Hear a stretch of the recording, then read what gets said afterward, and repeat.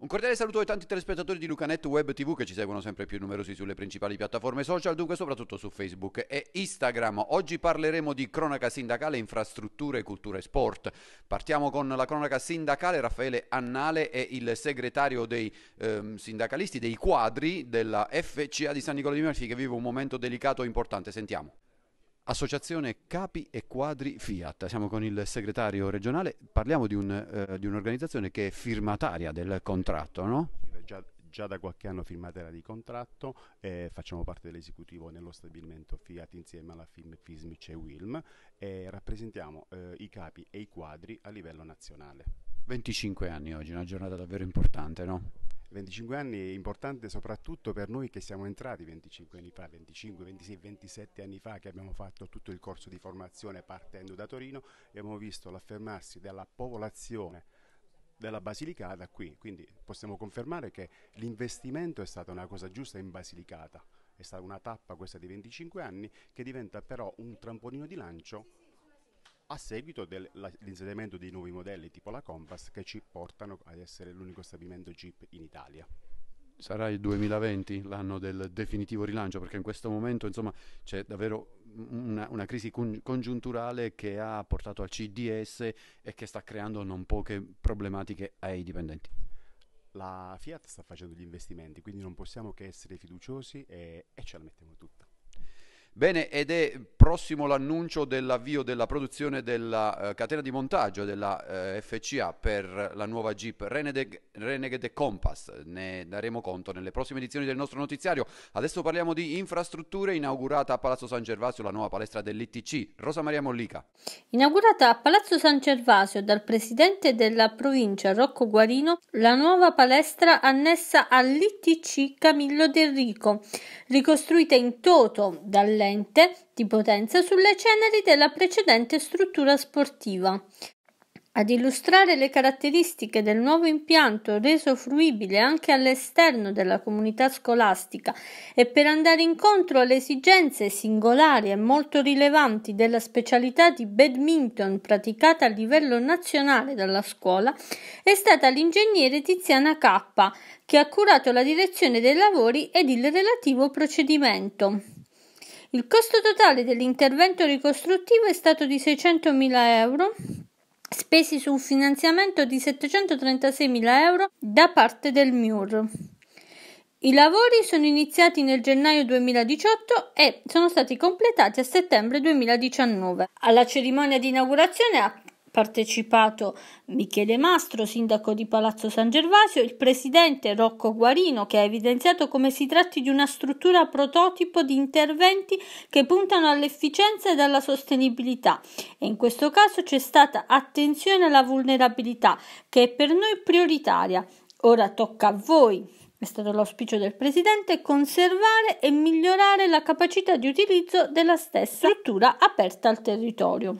Mentre il sindaco Michele Mastro ha affermato che il nuovo plesso sportivo si colloca in un programma che prevede un attento ed importante sviluppo della comunità palazzese, indirizzato ad una migliore qualità dei servizi offerti alla comunità scolastica, testimoniando la particolare attenzione che si pone nei confronti dei giovani, ai quali viene offerta un'opportunità in più per svolgere esercizio fisico e le attività sportive, insostituibili fattori per una crescita armonica ed equilibrata.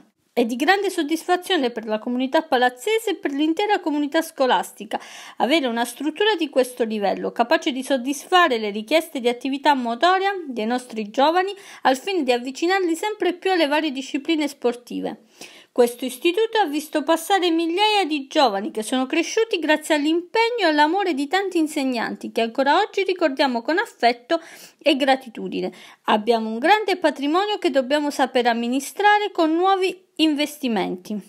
Se vogliamo guardare avanti ad un futuro che prosegua nella straordinaria crescita, dobbiamo avere il coraggio delle nostre scelte e dobbiamo metterci in gioco.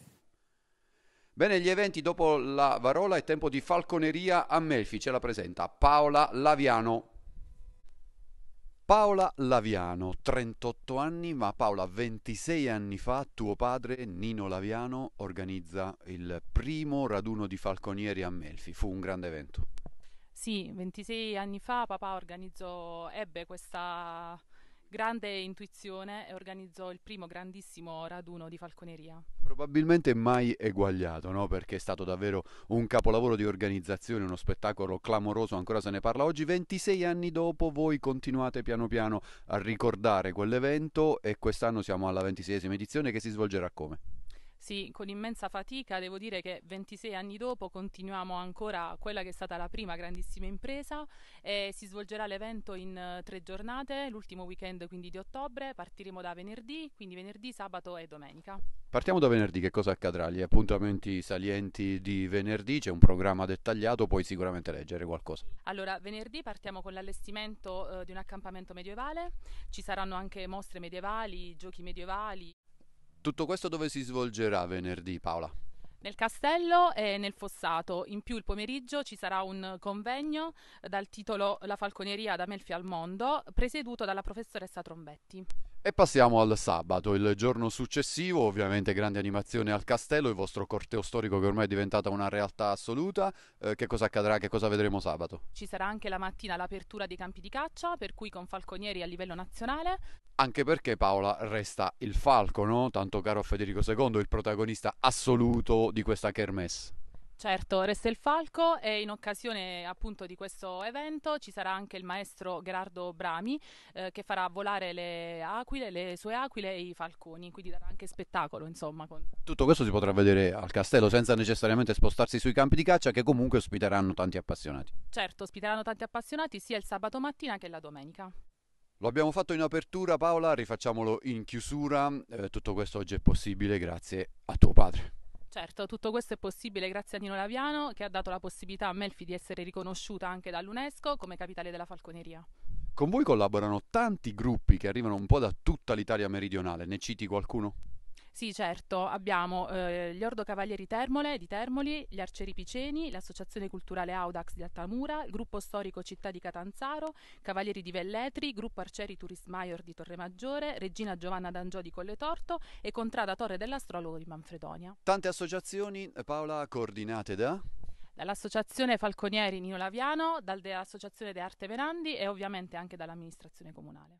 Insomma, per vedere questo magnifico spettacolo che state allestendo, bisogna essere qui venerdì, sabato e domenica. Un tuo ultimo appello ai tanti turisti che arriveranno a Melfi. Ai tanti, ai tanti, turisti posso solo dire di venire assolutamente a vedere sia la, tutta la manifestazione, cortei, tutto, a partecipare veramente a tutto perché ne vale la pena. E chiudiamo con lo sport come sempre, il Melfi vince a Brienza e adesso davvero si candida per un posto nei playoff anche se eh, la società giallo-verde getta acqua eh, sul fuoco e ferma, frena i facili entusiasmi. Sentiamo il portiere dei giallo-verdi, Giuseppe Pinto.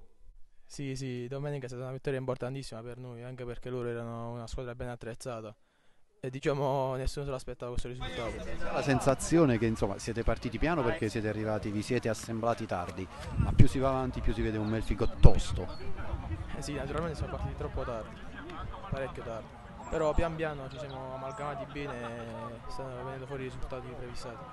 A questo punto l'obiettivo stagionale qual è? Resta solo la salvezza o pensate a qualcosa di più? Eh, l'obiettivo è quello di salvarci, poi quello che verrà lo accetteremo. Come ti trovi con i nuovi compagni in difesa, difesa tutta nuova rispetto all'anno scorso? Bene, bene, come anche l'anno scorso, sono gente esperta e buoni giocatori. Questa è una squadra che si deve salvare il prima possibile e poi si, ci, si proverà a togliersi qualche soddisfazione. Sì, sì, l'obiettivo primario è la salvezza, poi già l'ho detto, quello che verrà lo, lo, accetteremo ben volentieri. Che gruppo si è formato nello spogliatoio? Appunto, fino a, a settembre ancora non vi conoscevate molti. Sì, siamo veramente un bel gruppo, siamo tutti uniti anche perché siamo tutti bravi ragazzi, è davvero un gruppo speciale. Prossima trasferta. Eh, andiamo sul campo dello Sciria, non è un campo facile, pure la squadra, una squadra attrezzata, sarà anche domenica una battaglia, vedremo come andrà, noi ci metteremo sicuramente il massimo. Era l'ultima intervista, grazie per la cortese attenzione. A risentirci nelle prossime edizioni di Lucanet Web TV. Io vi ricordo che ci trovate sulle principali piattaforme social, dunque soprattutto su Facebook e Instagram. A risentirci.